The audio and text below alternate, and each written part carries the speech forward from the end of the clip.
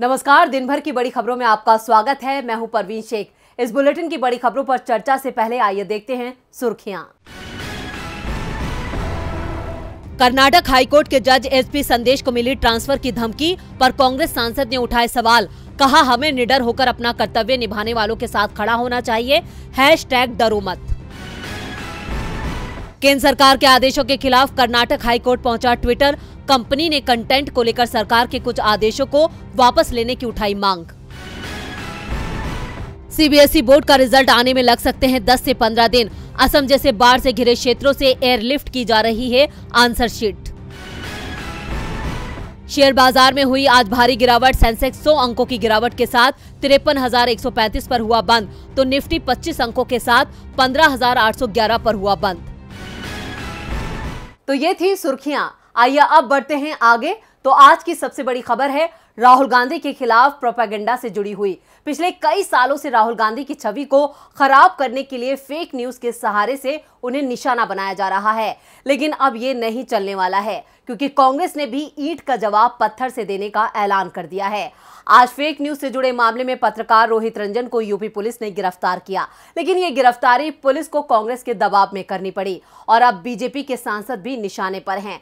इस खबर पर करेंगे विस्तार से चर्चा। इसके साथ ही बात होगी महाराष्ट्र की राजनीति में आए नए मोड़ की। जानेंगे गुजरात विधानसभा चुनाव में जीत के लिए कांग्रेस ने बनाया है क्या प्लान। साथ ही बात होगी जम्मू कश्मीर चुनावों की भी। इसके अलावा और भी कई बड़ी खबरों से हम करवाएँगे आपको रूबरू। तो चलिए बढ़ते हैं आज की सबसे बड़ी खबर की तरफ़।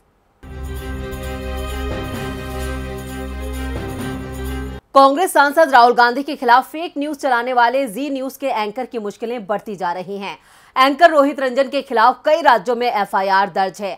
आज सुबह छत्तीसगढ़ की पुलिस रोहित को गिरफ़्तार करने उनके गाजियाबाद, इंदिरापुरम के घर पहुँची तो नोएडा पुलिस भी वहाँ पहुँच गई। नोएडा पुलिस ने कहा कि उनके खिलाफ नोएडा के सेक्टर 20 में मामला दर्ज है। फेक न्यूज़ के मामले में फंसे रोहित रंजन को लेकर दो राज्यों की पुलिस आमने सामने आ गई। क्या है पूरा मामला? देखते हैं ये रिपोर्ट। नुपुर शर्मा पर कार्रवाई नहीं हुई क्योंकि वो बीजेपी की प्रवक्ता थी। लेकिन मोहम्मद जुबैर जो फेक न्यूज़ की हकीकत सामने लाते थे, उन्हें गिरफ़्तार कर लिया गया। बीजेपी नेता तजिंदर बग्गा को पंजाब पुलिस की हिरासत से छुड़ा लिया जाता है। वो भी हरियाणा और दिल्ली पुलिस के सहयोग से। लेकिन जिग्नेश मेवानी को असम पुलिस एक ट्वीट को लेकर गुजरात से गिरफ़्तार कर लेती है। मोदी राज में ये खेल लंबे समय से चल रहा है, जहाँ बीजेपी नेताओं को कुछ भी कहने की आज़ादी है। किसी के बयान को तोड़ मरोड़ कर पेश करने की छूट मिली है। लेकिन विपक्षी दलों से जुड़े नेताओं पर छोटे छोटे मामलों में पुलिस का सख्त एक्शन तुरंत हो जाता है। लेकिन अब कांग्रेस पार्टी ने भी बीजेपी को उसी की भाषा में जवाब देना शुरू कर दिया है। बीजेपी सांसद, विधायक और नेताओं के खिलाफ फेक न्यूज़ को लेकर अब एफआईआर दर्ज की जा रही है। उनकी गिरफ्तारियों की कोशिश की जा रही है। बीजेपी समर्थकों पर भी शिकंजा कसा जा रहा है। राहुल गांधी के बयान को किसी और संदर्भ से जोड़कर फेक न्यूज़ चलाने वाले जी न्यूज़ के एंकर रोहित रंजन को छत्तीसगढ़ पुलिस के दबाव में यूपी की नोएडा पुलिस को ही गिरफ़्तार करना पड़ गया। दरअसल राहुल गांधी बीते दिनों केरल के वायनाड गए हुए थे, जहाँ कांग्रेस कार्यालय को वामपंथी संगठन से जुड़े लोगों ने निशाना बनाया था। राहुल गांधी ने कहा था कि वो उन बच्चों को माफ़ करते हैं जिन्होंने ये काम किया है। लेकिन रोहित रंजन ने अपने शो में राहुल गांधी के इस बयान को राजस्थान के कन्हैयालाल मामले से जोड़ दिया। जिसके बाद सबसे पहले कांग्रेस ने रोहित रंजन से माफ़ी की मांग की और बाद में उनके खिलाफ कई राज्यों में एफआईआर दर्ज करा दी। आज छत्तीसगढ़ पुलिस रोहित रंजन को गिरफ़्तार करने के लिए सुबह साढ़े पाँच बजे उनके इंदिरापुरम स्थित घर पहुँच गई। छत्तीसगढ़ पुलिस को देखकर रोहित ने ट्वीट कर यूपी के मुख्यमंत्री योगी आदित्यनाथ, एएसपी गाजियाबाद और एडीजी जोन लखनऊ से मदद मांगी। इसके बाद मामले में गाजियाबाद और नोएडा पुलिस की एंट्री हो गई। रोहित ने अपने ट्वीट में लिखा, बिना लोकल पुलिस को जानकारी दिए, छत्तीसगढ़ पुलिस मेरे घर के बाहर मुझे अरेस्ट करने के लिए खड़ी है। इसका जवाब देते हुए छत्तीसगढ़ की रायपुर पुलिस ने लिखा, सूचित करने के लिए ऐसा कोई नियम नहीं है, फिर भी अब उन्हें सूचित किया गया है। पुलिस टीम ने आपको कोर्ट का गिरफ्तारी वारंट दिखाया है, उन्हें वास्तव में सहयोग करना चाहिए। जाँच में शामिल होना चाहिए और अपना पक्ष अदालत में रखना चाहिए। कांग्रेस ने कहा है कि रोहित ने अपना अपराध खुद कबूला है। यूपी पुलिस को सहयोग करना चाहिए। बढ़ते दबाव के बीच नोएडा पुलिस ने रोहित को गिरफ़्तार कर लिया। नोएडा पुलिस का दावा है कि वो एक पुराने मामले में रोहित को गिरफ़्तार कर रहे हैं। साफ़ है कि रोहित की गिरफ्तारी कांग्रेस के एक्शन के डर से की गई है और कांग्रेस ने भी ये साफ़ कर दिया कि वो बीजेपी के खिलाफ आगे भी ऐसे सख्त कदम उठाएगी। अब कांग्रेस भी बर्दाश्त नहीं करेगी कि कोई उनके नेता की इमेज को खराब करे। कांग्रेस के इन तेवरों ने बीजेपी समर्थक नेशनल मीडिया को भी सतर्क कर दिया है कि अगर अब फेक न्यूज़ चलाई तो जेल जाना पड़ेगा। वहीं दूसरी तरफ़ महाराष्ट्र में सत्ता जाने के बाद उद्धव ठाकरे ने भी अपने तेवर कड़े कर लिए हैं। उद्धव ने बीजेपी और एकनाथ शिंदे को चुनौती देते हुए कहा कि हिम्मत है तो चुनाव करा के देख लो, कौन है सत्ता का असली हकदार। महाराष्ट्र की सत्ता पर लंबे समय तक घात लगाकर बैठने के बाद आखिरकार बीजेपी ने सत्ता पर कब्जा कर ही लिया। लेकिन महाराष्ट्र में शुरू हुआ ये खेल अभी भी जारी है। और उद्धव गुट की तरफ़ से बीजेपी और एकनाथ शिंदे पर लगातार हमला किया जा रहा है। और उद्धव के बयान ये बता रहे हैं कि बागियों को लेकर उनका गुस्सा कम नहीं हुआ है। और यही कारण है कि वो लगातार बीजेपी और शिंदे पर हमलावर हैं। और आज एक कार्यक्रम के दौरान उन्होंने शिंदे और फडनवीस को आड़े हाथों ले लिया। इतना ही नहीं, उद्धव ने शिंदे को चेतावनी देते हुए फडनवीस से सचेत रहने की सलाह भी दी। उन्होंने कहा कल राज्य के डिप्टी सीएम फडणवीस ने प्रेस में जिस तरह से सीएम शिंदे के सामने से माइक छीना, इसी तरह कब क्या छीन लेंगे पता नहीं चलेगा। उद्धव ने सिर्फ़ फडणवीस ही नहीं, बल्कि एकनाथ शिंदे पर भी निशाना साधा, उन्होंने तंज कसते हुए कहा कि कल विधानसभा में रिक्शा चालक की रिक्शा तूफानी रफ्तार से चल रही थी। इसमें ब्रेक ही नहीं था। वहाँ बैठे लोगों को लग रहा था कि कहीं रिक्शा का एक्सीडेंट न हो जाए। जब से महाविकास अघाड़ी के हाथ से सत्ता गई है, विपक्ष लगातार बीजेपी पर हमलावर है और अब लगातार मध्यावधि चुनाव के लिए चुनौती दे रहा है। ऐसे में आज प्रेस कॉन्फ्रेंस के दौरान संजय राउत ने दावा किया कि अगर महाराष्ट्र में अभी मध्यावधि चुनाव हुए तो उद्धव ठाकरे नीत पार्टी सौ से अधिक सीटें जीतेगी। राउत ने बीजेपी और मुख्यमंत्री एक शिंदे पर हमला करते हुए कहा कि धन बल या केंद्रीय एजेंसियों के माध्यम से दबाव डालकर शिवसेना को हाईजेक नहीं किया जा सकता है। इसके साथ ही राउत ने दावा किया कि बागी विधायक लौट कर ज़रूर आएँगे। यानी अब विपक्ष की तरफ़ से बार बार मध्यावधि चुनाव करवाने का ज़िक्र किया जा रहा है। क्या ये चुनाव करवाने के लिए दबाव बनाने की विपक्ष की कोशिश है? खैर, इस बारे में तो कुछ भी कह पाना भी मुश्किल है। लेकिन विपक्ष सत्ता पक्ष पर हावी पड़ता दिख रहा है। सत्ता की ये लड़ाई अब जम्मू कश्मीर में भी होने जा रही है। जम्मू कश्मीर में विधानसभा चुनाव को लेकर सरगर्मियाँ तेज हो गई हैं। आने वाले चुनावों को लेकर राजनीतिक दलों ने अपनी कमर कस ली है। जहाँ एक तरफ़ बीजेपी जम्मू कश्मीर पर राज करना चाहती है तो वहीं विपक्ष ने भी चुनाव जीतने के लिए ताकत झोंक दी है। यहाँ तक कि सभी विपक्षी दल साथ आकर बीजेपी का मुकाबला करने को तैयार हैं। ये तैयारी बीजेपी पर भारी पड़ सकती है। अगले कुछ महीनों में होने वाले गुजरात चुनावों ने अभी से हलचल पैदा कर दी है और सत्ताधारी पार्टी सत्ता पर बने रहने के लिए कई जतन कर रही है और इसका जिम्मा खुद प्रधानमंत्री मोदी ने उठाया हुआ है। यही कारण है कि पीएम बार बार गुजरात दौरे पर जा रहे हैं और बीते दिन भी पीएम गुजरात में ही थे और कांग्रेस भी अपनी तैयारी में जुट गई है। यानी मुख्य रूप से लड़ाई बीजेपी और कांग्रेस के बीच नज़र आ रही है, लेकिन अब कांग्रेस ने अपनी तैयारियों को नया रूप दिया है और अपनी रणनीति में बदलाव किया है। दरअसल 2024 के लोकसभा चुनावों के लिए चुनाव की रणनीति तैयार करने के लिए गठित कांग्रेस टास्क फोर्स ने सोमवार को गुजरात विधानसभा चुनाव की रणनीति पर चर्चा करने के लिए गुजरात इकाई के नेताओं के साथ बैठक की, जिसमें पार्टी नेताओं और कार्यकर्ताओं को नई रणनीति बताई गई है। जिसके तहत आलाकमान पार्टी की गुजरात यूनिट से कहा गया है कि वो पीएम मोदी पर व्यक्तिगत हमले करने से बचे, क्योंकि इस चुनाव को मोदी बनाम कांग्रेस की लड़ाई नहीं बनने देना है। हालाँकि प्रचार के दौरान सरकार की नीतियों की आलोचना करने के निर्देश दिए गए हैं। बैठक में ये भी निर्णय लिया गया है कि गुजरात सरकार की विफलताओं, दलितों, किसानों और आदिवासियों के मुद्दे और राज्य पर कांग्रेस के चुनाव अभियान का फोकस होना चाहिए। इसके साथ ही कांग्रेस ने आम आदमी पार्टी को नजरअंदाज न करने के भी निर्देश दिए हैं। आलाकमान ने फैसला किया है कि आपको बीजेपी की बी टीम के रूप में प्रचारित किया जाना चाहिए। साथ ही दिल्ली में अरविंद केजरीवाल सरकार के वादों को गुजरात में बेनकाब किया जाना चाहिए। अपनी रणनीति में बदलाव करने के पीछे की वजह। कांग्रेस का ये मानना है कि पिछले चुनावों में पीएम पर सीधा हमला ही उसकी हार का कारण बना था। ऐसे में इस बार कांग्रेस पीएम की नहीं, सरकार की खामियों को उजागर करने पर फोकस करेगी। और गुजरात में आपकी एंट्री से उसे नुकसान ना हो, इसका भी ध्यान रखा जा रहा है। क्योंकि पाँच राज्यों के विधानसभा चुनाव के दौरान आपने कांग्रेस को काफ़ी नुकसान पहुँचाया था। यानी कांग्रेस बहुत सूझबूझ के साथ चुनाव प्रचार कर रही है। अब उसकी ये कोशिश कितनी सफल होगी, ये तो चुनाव के नतीजे ही बता पाएँगे। जम्मू कश्मीर में गुप्कार गठबंधन मिलकर चुनाव लड़ेगा तो गुजरात में कांग्रेस ने भी खास तैयारी कर ली है। गुजरात में इस साल के आखिर में विधानसभा चुनाव हैं। बीजेपी हर हाल में सत्ता में बने रहना चाहती है तो वहीं बीजेपी को सत्ता से बाहर करने के लिए कांग्रेस ने खास रणनीति बनाई है। कांग्रेस ने जीत के लिए अपनी रणनीति में बड़ा बदलाव किया है। क्या है कांग्रेस का नया प्लान? देखते हैं इस खास रिपोर्ट में। जम्मू कश्मीर में जब से बीजेपी और पीडीपी की सरकार गिरी है, तब से सत्ता पर कोई भी दल काबिज नहीं हुआ है। लंबे वक्त से चुनाव कराने की मांग की जा रही है वहीं अब चुनाव आयोग ने जल्द वोटिंग के संकेत दे दिए हैं। इसके बाद से ही राजनीतिक पार्टियाँ भी चुनाव जीतने पर फोकस कर रही हैं। यहाँ तक कि विपक्षी दल तो साथ आकर बीजेपी को मात देने की रणनीति तैयार कर रहे हैं। People's Alliance for Gupkar Declaration के प्रमुख घटक नेशनल कॉन्फ्रेंस और पीडीपी ने कहा कि संयुक्त रूप से जम्मू कश्मीर में विधानसभा चुनाव लड़ेगा।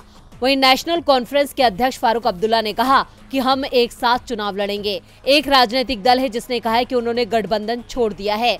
लेकिन सच्चाई ये है कि वो कभी गठबंधन का हिस्सा नहीं थे। वो हमें भीतर से तोड़ने आए थे। इसी के साथ ही उन्होंने बीजेपी पर निशाना साधा। अब्दुल्ला ने कहा कि सरकार जब चाहे चुनाव करा सकती है, इसलिए हम सब साथ आकर उसका सामना करेंगे। वहीं दूसरी तरफ़ पीडीपी अध्यक्ष और जम्मू कश्मीर की पूर्व सीएम महबूबा मुफ्ती ने कहा कि हम एक साथ चुनाव लड़ने का इरादा रखते हैं, क्योंकि ये लोगों की इच्छा है कि हमें अपनी खोई हुई गरिमा की बहाली के लिए मिलकर प्रयास करना चाहिए। विपक्षी एकता का संदेश देने के साथ ही मुफ्ती ने भी चुनाव को लेकर बीजेपी को घेरा। उन्होंने कहा कि जब बाढ़ आई थी, तब तो चुनाव हुए थे तो अब क्यों नहीं हो सकते? बीजेपी हमेशा से अपना फ़ायदा देखती है। वो राज्य का भला नहीं चाहती है, लेकिन अब हम विपक्षी दल साथ आकर उसकी चाल को नाकाम करेंगे। अब फारूक अब्दुल्ला से लेकर मुफ्ती तक ने विपक्षी एकता की बात कही है। ये गठबंधन बीजेपी पर भारी पड़ सकता है। अब देखना होगा कि पार्टी इसका सामना करने के लिए क्या करती है। कांग्रेस की ये रणनीति गुजरात में कमल को फिर से खिलने से रोक पाएगी। ये जब नतीजे आएँगे तो साफ़ हो जाएगा।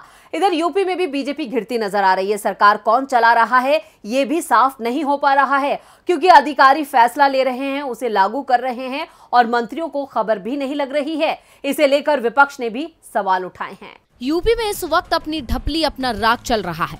जिस अधिकारी का जो मन कर रहा है, वैसे फैसले ले रहा है। और यूपी में चल रही इस मनमानी का खुलासा उस वक्त हुआ, जब स्वास्थ्य विभाग में डॉक्टर से लेकर कर्मचारियों तक के तबादले पर सवाल उठने लगे। ये मामला उस वक्त का है, जब यूपी के सीएम योगी आदित्यनाथ और डिप्टी सीएम ब्रजेश पाठक हैदराबाद में हो रही बीजेपी कार्यकारिणी की बैठक में शामिल होने गए थे। और उन्हें इस बात की भनक तक नहीं थी कि उनके पीछे से सचिव ने स्वास्थ्य विभाग में डॉक्टर से लेकर कर्मचारियों तक के तबादले कर दिए। लेकिन जब ये मामला संज्ञान में आया तो उप मुख्यमंत्री ने अपर मुख्य सचिव को पत्र लिखकर तबादला किए जाने का कारण स्पष्ट करते हुए पूरा विवरण मांगा है। और अब इस मामले को लेकर उप मुख्यमंत्री ब्रजेश पाठक और विभाग के अपर मुख्य सचिव अमित मोहन प्रसाद में ठन गई है। हालाँकि अपर मुख्य सचिव का कहना है कि तबादले नियमानुसार हुए हैं और उप मुख्यमंत्री के अनुमोदन पर किए गए हैं। तबादले पर सवाल उठने के बाद उप मुख्यमंत्री ब्रजेश पाठक ने अपर मुख्य सचिव अमित मोहन प्रसाद से सूची समेत पूरा ब्यौरा तलब किया है। अब जब से ये मामला सामने आया है, योगी सरकार घिर गई है, क्योंकि यहाँ अधिकारियों की खुलेआम मनमानी चल रही है। विभाग के मंत्रियों को ही पता नहीं होता कि उनके मंत्रालय में क्या काम हो रहा है, किसके आदेश पर तबादले हो रहे हैं, जो काफ़ी गंभीर विषय है। जिसके बाद से ये सवाल उठना शुरू हो गया है की आखिर योगी सरकार किसके इशारे पर चल रही है।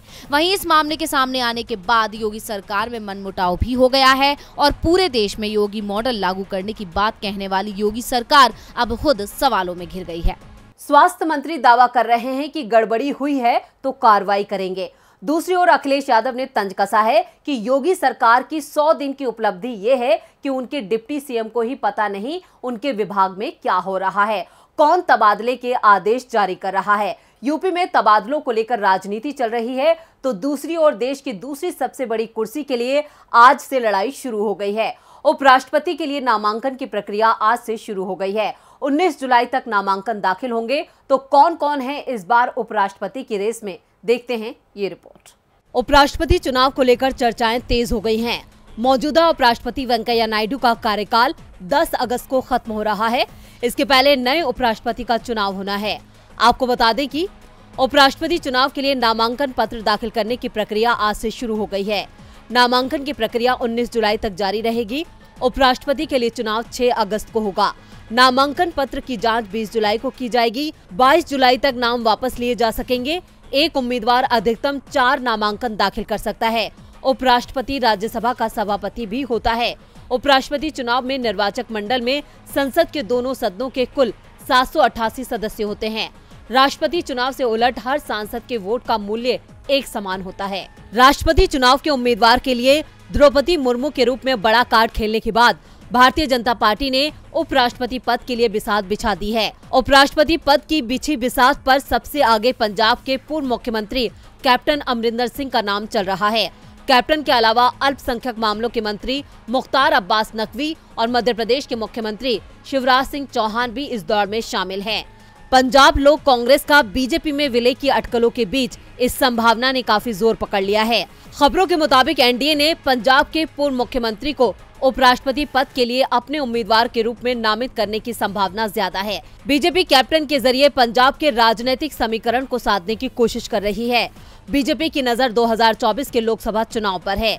इसके मद्देनजर कैप्टन को उपराष्ट्रपति बनाकर बीजेपी पंजाब की 13 लोकसभा सीटों पर अपनी रणनीतिक बढ़त बनाना चाहती है। अब कैप्टन को उपराष्ट्रपति पद का उम्मीदवार बनाकर बीजेपी सिख समुदायों में अपनी पैठ को मज़बूत करना चाहती है। और बुलेटिन के आखिर में बात, देश की गिरती अर्थव्यवस्था की। देश इस वक्त सांप्रदायिक तनाव के दौर से गुजर रहा है। वहीं दूसरी तरफ़ देश की अर्थव्यवस्था भी बेपटरी हो चुकी है। देश में महँगाई का बोलबाला है, बेरोजगारी नए नए रिकॉर्ड बना रही है और अब तो भारत दुनिया की पांचवी बड़ी अर्थव्यवस्था भी नहीं है। ये चौंकाने वाला खुलासा हुआ है एक अंतर्राष्ट्रीय रिपोर्ट में। तो क्या कहती है ये रिपोर्ट? देखते हैं ये खास खबर। कोरोना महामारी और मौजूदा सरकार की गलत नीतियों की वजह से भारतीय अर्थव्यवस्था अब पांचवी बड़ी अर्थव्यवस्था नहीं रही है। विश्व बैंक के ताज़ा आंकड़ों के अनुसार अब ब्रिटेन दुनिया की पांचवी बड़ी अर्थव्यवस्था बन गया है। बिज़नेस स्टैंडर्ड ने वर्ल्ड बैंक के हवाले से बताया कि वैसे तो ब्रिटेन से भारत महज तेरह अरब डॉलर पीछे है, लेकिन आर्थिक बढ़ोतरी में वो ब्रिटेन से कहीं आगे है। मौजूदा समय में दोनों अर्थव्यवस्था बत्तीस खरब डॉलर के आकार की है, लेकिन दो हज़ार इक्कीस की समाप्ति तक भारतीय अर्थव्यवस्था का आकार इकतीस दशमलव सात खरब डॉलर, जबकि ब्रिटेन की जीडीपी का आकार इकतीस दशमलव नौ खरब डॉलर रहा था।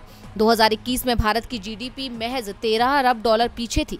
ब्रिटेन की जीडीपी से 2021-22 में भारतीय अर्थव्यवस्था में ब्रिटेन के मुकाबले ज़्यादा तेज़ी से सुधार आया है। ब्रिटेन की जीडीपी में 2019 के स्तर से 2.6 फ़ीसदी की बढ़ोतरी हुई, जबकि भारत ने 2019 के मुकाबले अपनी जीडीपी में 17.8 फ़ीसदी की बढ़त दर्ज की है। अर्थव्यवस्था के जानकार मान रहे हैं कि भारत जल्द ही फिर ब्रिटेन को पीछे छोड़कर पाँचवें स्थान पर आ जाएगा। उन्होंने कहा कि चालू वित्त वर्ष में जिस तरह भारत की अर्थव्यवस्था तेज़ी से आगे बढ़ रही है, वित्त वर्ष की समाप्ति तक ये फिर पांचवी बड़ी अर्थव्यवस्था वाला देश बन जाएगा। यहाँ भी मोदी सरकार की नीतियों का बचाव किया जा रहा है। ये नहीं बताया जा रहा है की कैसे भारत पांचवी बड़ी अर्थव्यवस्था बनेगा। अगर परचेंजिंग पावर पैरिटी की बात की जाए तो भारत इस मामले में तीसरे पायदान पर आ गया है। उससे ऊपर अमेरिका और चीन ही है। भारत की पीपीपी 2021 में 102.2 खरब डॉलर की थी, जो जापान के चौवन खरब डॉलर से करीब दो गुना है। पीपीपी का मतलब है कि किसी देश में रहने की लागत जबकि उसकी स्थानीय करेंसी को डॉलर के टर्म में बदला जाए। इस लिहाज से चीन की पीपीपी सबसे ज़्यादा, यानी दो खरब डॉलर की है। अब गिरती अर्थव्यवस्था पर सरकार अपने बचाव का क्या तर्क देती है, इस पर सबकी नज़रें रहने वाली है। लेकिन इस रिपोर्ट के खुलासे के बाद विपक्ष को मोदी सरकार पर हमला करने का एक और मौका ज़रूर मिल गया है। तो आज इस बुलेटिन में बस इतना ही। देखते रहिए डीबी लाइव नमस्कार।